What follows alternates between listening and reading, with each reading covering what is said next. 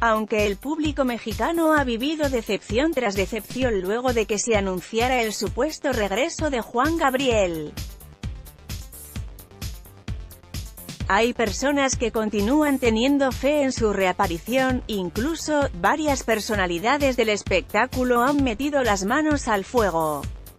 Por Juan Gay tienen sus propias teorías.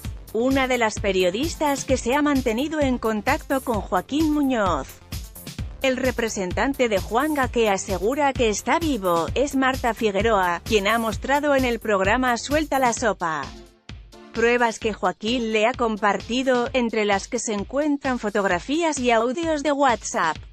Marta Figueroa ha defendido públicamente la versión de Joaquín, y aunque no ha expresado que crea ciegamente en él, le ha dado el beneficio de la duda, por lo que al parecer está viendo su recompensa.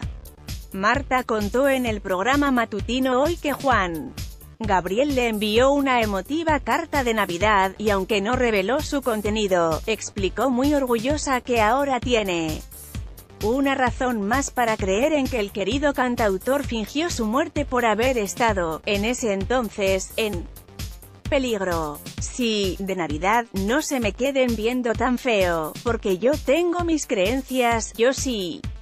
Creo que en el momento menos pensado, cuando ya se nos olvide, trácalas, se nos va a aparecer. Punto. Arroba a Marza Figueroax. Dice haber recibido una tarjeta de Juan Gabriel en Navidad arroba programa barra baja hoypic.twitter.com barra y a 0 beta novela longe arroba novela longe.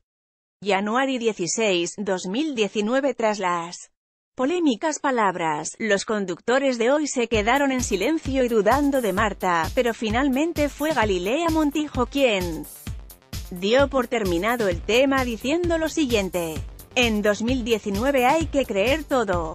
O sea, yo creo todo. Con información de la vanguardia, la opinión y radio fórmula anímate a comentar. Queremos saber tu opinión. Comentarios Powered by Facebook.